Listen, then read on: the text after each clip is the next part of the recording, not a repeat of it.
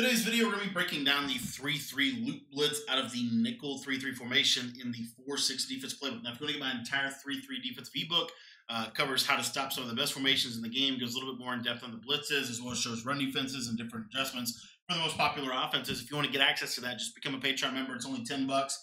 The link's going to be down in the description below. I wanted to go over this 3-3 blitz and uh, three three is a formation this year that really it's there's a lot of ways to run the defense, right? Uh, but I think this way is probably the best way, and this is uh, kind of similar to what Henry was doing in the Madden uh, Ultimate Kickoff Tournament against uh, Dub.W.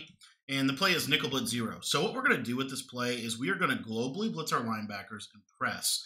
Now, um, the big thing here is we're just going to slide this guy out so he's on a contain, and then you can kind of slide this guy in just slightly, and then from there you just want to take the linebacker and man him up on the tight end.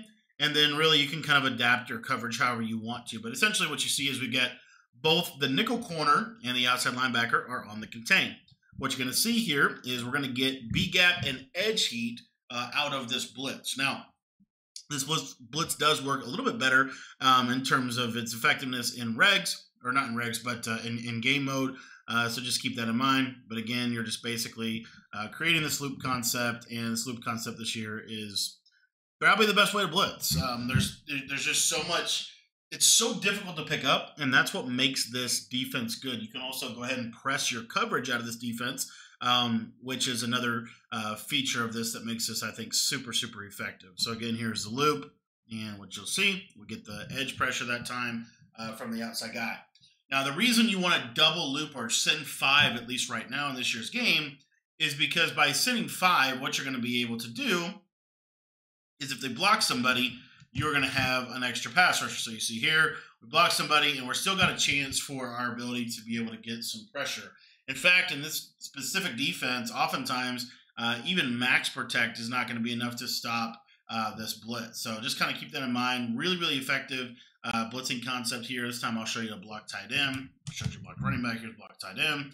You see with the block tight end, we're still able to get the pressure in pretty consistently. So again, very simple setup. Um, and then, you know, of course, you have some press coverage here. If you want to shade over top, you can. Um, but I think this right here is is very good blitz. It's very effective and uh, very efficient in terms of how it utilizes your resources.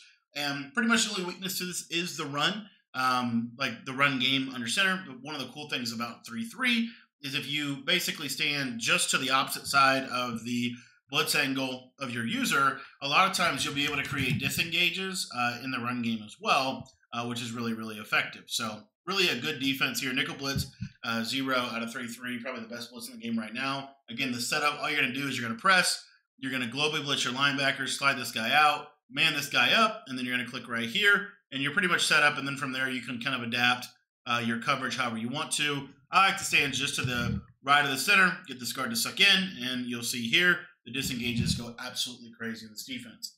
If you want to get access to my entire nickel 3 3 defense and uh, learn how to bag pretty much any kind of coverage, any um, or any any formation in the game from this with some different types of coverage adjustments, make sure you join the Patreon. Again, the link to sign up for that is going to be down in the description. Thanks for watching the video, and you can join the Patreon by heading down to the description and clicking the link down below.